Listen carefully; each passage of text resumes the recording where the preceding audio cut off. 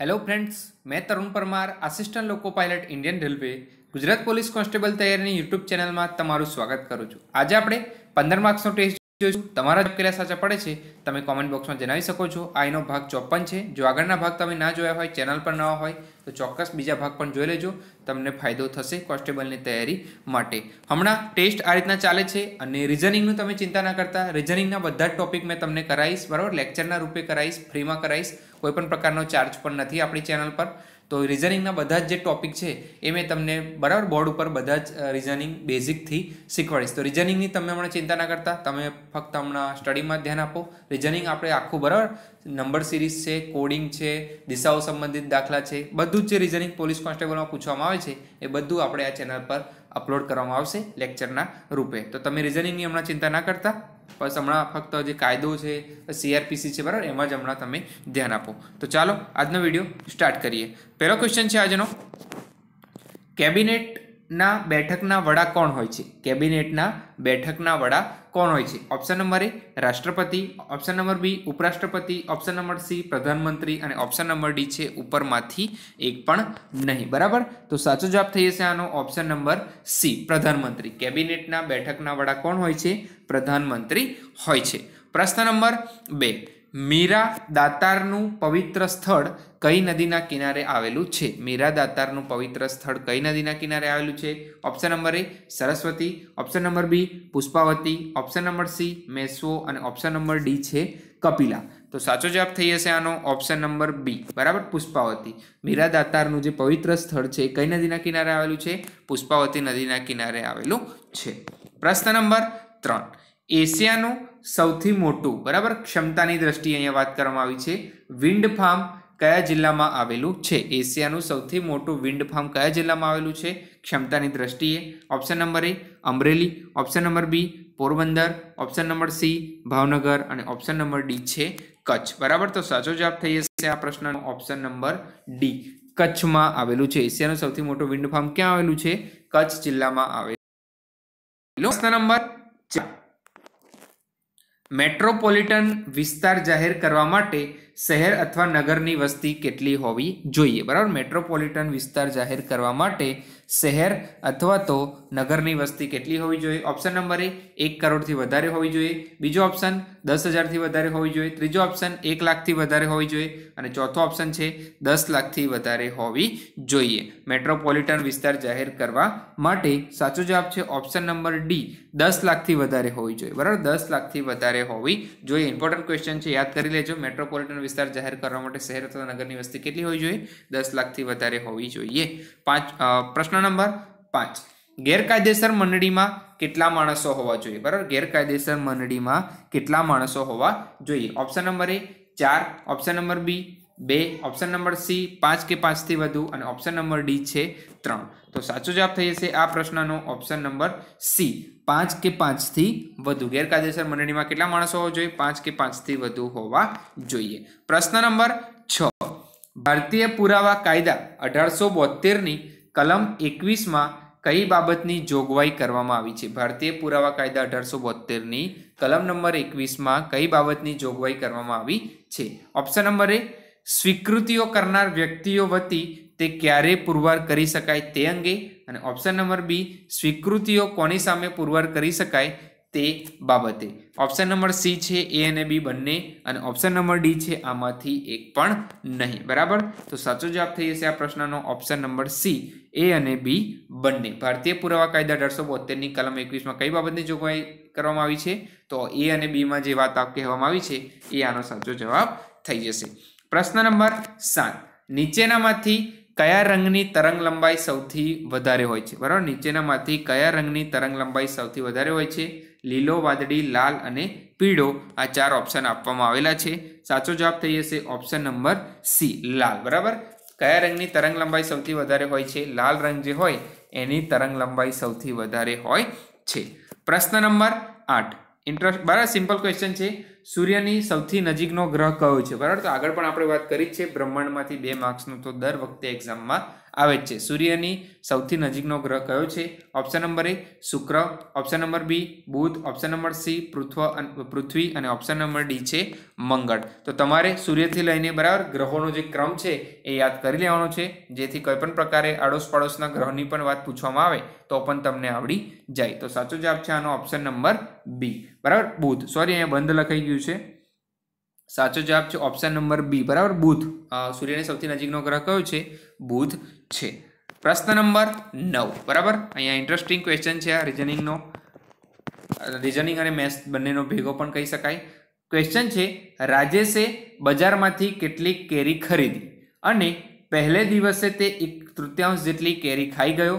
બીજા દિવસે તેણે બચેલી કેરીમાંથી અડધી કેરી ખાધી. તો ત્રીજા દિવસે તેણે જોયું તો બે કેરી બચી હતી. તો તો એ બજારમાંથી કુલ કેટલી કેરી લાવ્યો હશે? જ્યારે પણ આ રીતનો ક્વેશ્ચન બરાબર તમે જુઓ આટલી લાંબી સંખ્યાનો, તો બરાબર? તો તમારે પહેલાં, સૌથી પહેલાં તો આને સ્કીપ જ કરી દેવાનો. બરાબર? હું હમણાં તો આનું સોલ્યુશન આપું છું. પરંતુ એક્ઝામમાં તમે આટલી લાંબી સંખ્યા વાંચશો, એટલામાં તો બીજા તમે ત્રણ ચાર ક્વેશ્ચન કરી નાખશો. બરાબર? સિમ્પલ સિમ્પલ ક્વેશ્ચન જેમ કે આની પછીનો ક્વેશ્ચન આ છે, બરાબર? દસમો છે. તો તમને આવડતો હોય તો ફટાફટ ટીક કરીને નીકળી જશો. આ આવડતો હોય તો પણ ટીક કરીને નીકળી જશો. પરંતુ આજે ગણવાનો જે ક્વેશ્ચન છે, એમાં જો તમે ફસાઈ ગયા, તો તમારી ત્રણથી ચાર મિનિટ, બરાબર? આમાં જતી રહેશે. અને પછી, બરાબર? આમાં જ્યારે તમારો ટાઈમ હોય લાસ્ટમાં ત્યારે આ પ્રકારના ક્વેશ્ચન તમારે સોલ્વ કરવાના. બરાબર? કારણ કે આની સંખ્યા તમે જુઓ. સંખ્યા જ આની ત્રણ ચાર લાઈનમાં તો આની સંખ્યા છે. તો સંખ્યા વાંચશો, સમજશો, ગણશો, તો ટાઈમ વધારે જશે, તો બીજા તમારા ચારથી પાંચ માર્ક્સ જવાનું રિસ્ક છે. તો એક માર્ક્સ બરાબર છોડી નથી દેવાનો, આપણે લાસ્ટમાં આને પણ ટ્રાય કરવાનો જ છે. પરંતુ મોટી સંખ્યા છે અને વિચારવામાં ટાઈમ જાય એવું હોય તો ફટાફટ આગળના પ્રશ્નોમાં ધ્યાન આપવાનું, જેમાં જોતાની સાથે જ આન્સર ટીક થઈ જાય એ ટીક કરી દેવાના. અને જે બચાઈ જવા બરાબર, એની પર ક્રોસ મારી દેવાનો તો કોઈ પણ નિશાન કરી દેવાનું, એટલે લાસ્ટમાં આપણને ખબર પડે કે આ ક્વેશ્ચન મારો બાકી છે. તો હવે આપણે આ ક્વેશ્ચન પર ધ્યાન આપશું કે ભાઈ રાજેશ જે છે, એ બજારમાંથી કેટલીક કેરી કેટલીક કેરી ખરીદી કરીને લાવ્યો હતો. પહેલા દિવસે એને એક તૃત્યાંશ જેટલું કેરી એને ખાઈ ગયો. બીજા દિવસે તેને બચેલી કેરીમાંથી અડધી કેરી ખાધી. તો ત્રીજા દિવસે તેણે જોયું તો બે કેરી બચી હતી, તો કુલ કેટલી કેરી લાવ્યો હશે? ઓપ્શન છે આઠ બાર, નવ અને છ. તો બે રીતના આનું સોલ્યુશન થાય. એક્સ દ્વારા ધારીને પણ થઈ જાય. અથવા તો અહીંયા લાસ્ટમાં બે કેરી બચી હતી એવું કીધું હતું. તો અહીંયા ઊંધી શરૂઆત કરીએ આપણે, તો પણ આપણે જવાબ સુધી પહોંચી જઈશું. સૌથી પહેલાં આપણે એક્સ વાળી રીતથી ટ્રાય કરીશું કે ભાઈ કેટલી કેરી ખરીદી. તો કેટલી કેરી ખરીદી? આપણે અહીંયા ધરી રહીએ કે એને એક્સ કેરી ખરીદી. બરાબર? હવે પહેલા દિવસે તે એક તૃત્યાંશ જેટલી કેરી ખાઈ ગયો એક તૃત્યાંશ એટલે કે એક્સ કેરી લાવ્યો હતો, એની ત્રીજા ભાગની, બરાબર? મતલબ કે એક્સ છેદમાં ત્રણ. એક્સ છેદમાં ત્રણ આટલી કેરી એ ખાઈ ગયો. તો હવે એની જોડે કેટલી કેરી બચી હશે? તો આનું તમારે સૌથી પહેલાં તો સાદુરૂપ આપવું પડે. તો આ ત્રણ અહીંયા એક્સ જોડે ગુણાશે. તો સાદુરૂપ શું થઈ જશે? ત્રણ એક્સ માઇનસ એક્સ. બરાબર?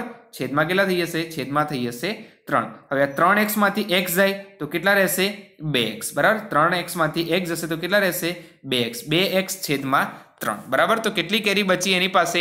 બે એક્સ છેદમાં ત્રણ આટલી કેરી બચી. હવે બીજા દિવસે તે બચેલી કેરીમાંથી અડધી કેરી ખાય છે. અડધી કેરી ખાય છે, મતલબ કે એક દ્વિતીયાંશ બરાબર? મતલબ કે આ હાફ કર્યું મેં એનું અડધું કર્યું. તો આ બે બે કેન્સલ થઈ જશે. તો હવે એની જોડે કેટલી કેરી બચી છે? અડધી કેરી ખાઈ ગયા, પછી કેટલી કેરી બચે છે? એક્સ છેદમાં ત્રણ. અને આપણે અહીંયા લાસ્ટમાં શું કીધું છે? કે લાસ્ટમાં એની જોડે કેટલી કેરી વધી છે? બે. મતલબ કે એક્સ છેદમાં ત્રણ, અહીંયા ગાણિતિક ભાષામાં એક્સ છેદમાં ત્રણ વધી છે, પરંતુ અહીંયા સંખ્યામાં પણ આપેલું છે કે લાસ્ટમાં કેટલી કેરી વધે છે? બે. તો હવે આપણે એક્સની કિંમત શોધવાની છે, કેટલી કેરી ખરીદી લઈએ? તો આ ત્રણને આ સાઈડ લઈ જશું. તો ત્રણને બેનો ગુણાકાર થઈ જશે. મતલબ કે એક્સ બરાબર શું થઈ જશે? ત્રણ ગુણાકારમાં બે. એટલે કે એક્સ બરાબર કેટલા થઈ જશે? છ થઈ જશે. ડાયરેક્ટ અને આ રીતના તમને ના ફાવતું હોય, તો અહીંયા આપણે ઊંધી રીતના વિચારીએ કે ભાઈ બે કેરી ત્રીજા દિવસે બચી હતી. અને બીજા દિવસે એને શું કરેલું? અડધી કેરી ખાધી હતી. બરાબર? અહીંયા બે કેરી બચી હતી. અને આગલા દિવસે શું કર્યું હતું? અડધી કેરી ખાધી હતી. તો બે ક્યારે વધે? જો એની જોડે ચાર કેરી હોય, બરાબર? જો એની જોડે ચાર કેરી હોય, અડધી ખાય, તો એની જોડે કેટલી વધે? બે વધે. મતલબ કે બીજા દિવસે એની જોડે કેટલી કેરી હતી? ચાર કેરી એની જોડે હતી. અને પહેલા દિવસે કેટલી ખાય છે? એક તૃત્યાંશ ખાય છે. બરાબર? એક તૃત્યાંશ ખાય છે. એક તૃત્યાંશનો મતલબ શું થઈ જાય છે અહીંયા? કે ભાઈ ત્રીજા ભાગની ખાય છે. તો અહીંયા ત્રીજા ભાગની ખાય છે અને ચાર વધે છે. મતલબ કે અહીંયા ચાર જે છે એ બે ભાગ છે. તો બીજો કેટલો ભાગ થઈ જાય? બીજો ભાગ થઈ જાય બે. બરાબર? તો છ ના ત્રણ ભાગ આપણે કરીએ. તો બે ભાગ, એ બે તૃતીયાંશ, એ અહીંયા થઈ જશે ચાર અને એક તૃતીયાંશ. બરાબર? અહીંયા થઈ જશે. મતલબ કે છ. આનો જવાબ આવી જશે. તો બંને રીતના, બરાબર? તમને જે ખ્યાલ આવે એક્સવાળી રીતથી પણ કરી શકો છો. અને લાસ્ટમાં બે કેરી વધી છે, એમ ઉલટું વિચારીને પણ કરી શકો છો. અને બરાબર? શરૂઆતમાં ક્વેશ્ચન આવી જાય, તો સ્કીપ કરીને આવા ક્વેશ્ચનને આપણે છેલ્લે સોલ્વ કરવાના હોય છે. તો સાચો જવાબ છે આનો ઓપ્શન નંબર ડી બરાબર? સાચો જવાબ શું થઈ જશે? ઓપ્શન નંબર ડી આનો સાચો જવાબ થઈ જશે. ઓપ્શન નંબર ડી છ જે આપેલા છે, બરાબર? એ આ પ્રશ્નનો સાચો જવાબ થઈ જશે. પ્રશ્ન નંબર દસ, હિન્દુ શાસ્ત્ર પ્રમાણે જીવન વિકાસને કેટલી અવસ્થાઓમાં વિભાજિત કરી શકાય છે? હિન્દુ શાસ્ત્ર પ્રમાણે જીવન વિકાસને કેટલી અવસ્થાઓમાં વિભાજિત કરી શકાય છે? ઓપ્શન છે ચાર, ત્રણ, પાંચ અને બે. તો સાચો જવાબ થઈ જશે આનો ઓપ્શન નંબર એ, ચાર. બરાબર? હિન્દુ શાસ્ત્ર પ્રમાણે જીવન વિકાસને કેટલી અવસ્થાઓમાં વિભાજિત કરી શકાય છે? ઓપ્શન નંબર એ, ચાર. પ્રશ્ન નંબર અગિયાર. કમ્પ્યુટર બંધ કરતા ખાલી જગ્યામાંની માહિતી નાશ પામે છે. કમ્પ્યુટર બંધ કરતા ખાલી જગ્યામાંની માહિતી નાશ પામે છે. Option number A ROM option number B HDD અને ઓપ્શન નંબર સી રેમ અને ઓપ્શન નંબર ડી છે આમાંથી એક પણ નહીં. બરાબર? તો આમાં સાચો જવાબ થઈ જશે ઓપ્શન નંબર સી રેમ બરાબર? રેમ એટલે કે રેન્ડમ એક્સેસ મેમરી અને રોમ એટલે કે રીડ ઓનલી મેમરી તો પૂરા નામ પણ તમે ધ્યાન યાદ કરી લેજો. રીડ ઓનલી મેમરી અને રેન્ડમ એક્સેસ મેમરી સાચો જવાબ છે option number C RAM computer બંધ કરતા રેમમાંની માહિતી નાશ પામે છે. પ્રશ્ન નંબર બાર. સીએનજીમાં મોટા ભાગે નીચેનામાંથી કયો વાયુ હોય છે? સીએનજીમાં મોટા ભાગે નીચેનામાંથી કયો વાયુ હોય છે? Option number A methane option number B oxygen option number C nitrogen અને ઓપ્શન નંબર ડી છે હિલિયમ બરાબર? તો આ ચાર ઓપ્શન અહીંયા આપવામાં આવેલા છે. તો સાચો જવાબ થઈ જશે આ પ્રશ્નનો ઓપ્શન નંબર એ મિથેન સીએનજીમાં મોટાભાગે કયો વાયુ હોય છે? ઓપ્શન નંબર ઈ મિથેન હોય છે. પ્રશ્ન નંબર તેર સીઆરપીસી ઓગણીસો તોતેરની કઈ કલમ દ્વારા કંટ્રોલ રૂમ ઊભો કરવામાં આવે છે. સીઆરપીસી ઓગણીસો તોતેરની કઈ કલમ દ્વારા કંટ્રોલ રૂમ ઊભો કરવામાં આવે છે? ઓપ્શન એ એકતાલીસ સી ઓપ્શન બી એકતાલીસ બી ઓપ્શન સી એકતાલીસ એ અને ઓપ્શન નંબર ડી છે એકતાલીસ ડી તો સાચો જવાબ થઈ જશે અહીંયા ઓપ્શન નંબર એ એકતાલીસ સી સીઆરપીસી ઓગણીસો તોતેરની કઈ કલમ દ્વારા કંટ્રોલ રૂમ ઊભો કરવામાં આવે છે? ઓપ્શન નંબર એ એકતાલીસ સી પ્રશ્ન નંબર ચૌદ. ભારતમાં કુદરતી રબરનું ઉત્પાદન, બરાબર? કયા રાજ્યમાં સૌથી વધારે થાય છે? ભારતમાં કુદરતી રબરનું ઉત્પાદન કયા રાજ્યમાં સૌથી વધારે થાય છે? Option number A Assam. બીજો ઓપ્શન છે કેરળ. ત્રીજો ઓપ્શન છે તમિલનાડુ. અને ચોથો ઓપ્શન છે આંધ્રપ્રદેશ. તો સાચો જવાબ થઈ જશે આ પ્રશ્નનો ઓપ્શન નંબર બી કેરળમાં. ભારતમાં કુદરતી રબરનું ઉત્પાદન, બરાબર? કયા રાજ્યમાં સૌથી વધારે થાય છે? તો ઓપ્શન નંબર બી કેરળમાં થાય છે. પ્રશ્ન નંબર પંદર નીચેનામાંથી કયું વિધાન ખોટું છે? બરાબર? નીચેનામાંથી કયું વિધાન ખોટું છે? ઓપ્શન નંબર એ, રાજભાષા અનુચ્છેદ ત્રણસો તેતાલીસ. ઓપ્શન નંબર બી, આકસ્મિક ફંડ અનુચ્છેદ બસો ને અડસઠ. Option number C, Panchayati Raj અનુચ્છેદ ચાલીસ. અને ઓપ્શન નંબર ડી, સમાન સિવિલ સંહિતા. બરાબર? સમાન સિવિલ સંહિતા અનુચ્છેદ ચુમ્માલીસ. તો સાચો જવાબ બરાબર તમારે અહીંયા ખોટો કયો વિધાન છે? નીચેનામાંથી કયું વિધાન ખોટું છે? કયો ઓપ્શન ખોટો છે? એ જણાવવાનું છે. તો ખોટું જે વિધાન છે, એ છે ઓપ્શન નંબર બી આકસ્મિક ફંડ બરાબર? આકસ્મિક ફંડ માટે અનુચ્છેદ બસો અડસઠ નથી. જ્યારે બાકીના ત્રણ જે સાચા છે, તો યાદ કરી લેજો. રાજભાષા માટે અનુચ્છેદ ત્રણસો તેતાલીસ, પંચાયતી રાજ માટે ચાલીસ અને સમાન સિવિલ સંહિતા માટે અનુચ્છેદ ચુમ્માલીસ. ને આકસ્મિક ફંડ માટે કયો અનુચ્છેદ છે, એ તમારે કોમેન્ટ બોક્સમાં જણાવવાનું છે. બરાબર? તમારી જે પણ બુક હોય, એમાં તમારે શોધી લેવાનું છે આકસ્મિક ફંડ માટે અનુચ્છેદ કયો છે અને કોમેન્ટ બોક્સમાં જણાવવાનું છે. તો આ પંદર ક્વેશ્ચન મેં અહીંયા લીધા છે. આ એક ક્વેશ્ચનને લીધે વીડિયો થોડો લાંબો થઈ જશે, બરાબર? ક્વેશ્ચન નંબર આઠ, કેરીવાળો જે હતો, એના લીધે વીડિયો થોડો લાંબો થઈ જશે. કંઈ સજેશન હોય તો જણાવી શકો છો.